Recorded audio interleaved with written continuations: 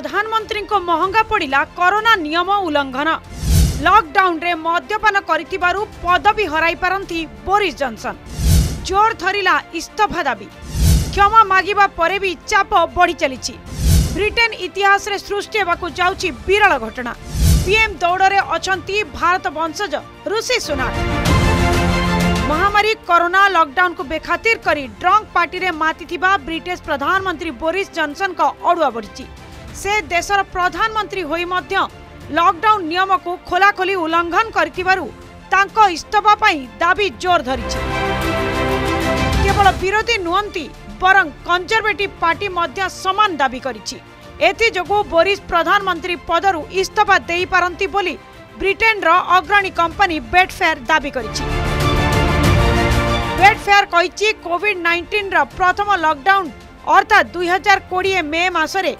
प्रधानमंत्री कार्यालय ten down street रे गोटे पार्टी आयोजन कर सब नियम को भांगी सतावन वर्षीय जनसन एगद ए संपर्क में खुलासा होगा जनसन चाप बढ़ी से निजर भूल स्वीकार करने क्षमा मा मागिंट तेरे जदि बोरीस जनसन इस्तफा दिये भारतीय वंशज ऋषि सुनाक ब्रिटेन रो प्रधानमंत्री होई पारंती बोली चर्चा आरंभ होई ऋषि वर्तमान चान्सेलर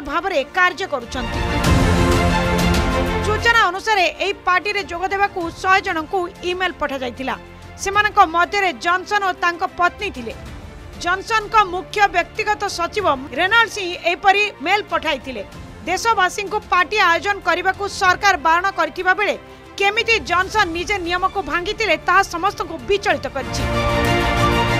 ଏହାକୁ ନେଇ ତାଙ୍କ ରାଜନୈତିକ ଭବିଷ୍ୟତ ଉପରେ ପ୍ରଶ୍ନବାଚୀ ସୃଷ୍ଟି ହୋଇଛି ଯଦି ଜନ୍ସନ୍ ଇସ୍ତଫା ଦିଅନ୍ତି ତାହେଲେ ଋଷି ପ୍ରଧାନମନ୍ତ୍ରୀ ହେବାର ଯଥେଷ୍ଟ ସମ୍ଭାବନା ରହିଛି ତାଙ୍କ ବ୍ୟତୀତ ବୈଦେଶିକ ମନ୍ତ୍ରୀ ଲିଜ୍ ଟ୍ରୁସ୍ ଓ କ୍ୟାବିନେଟ୍ ମନ୍ତ୍ରୀ ମାଇକେଲ୍ ଗୋବ୍ ମଧ୍ୟ ପ୍ରଧାନମନ୍ତ୍ରୀ ହେବା ଦୌଡ଼ରେ ରହିଛନ୍ତି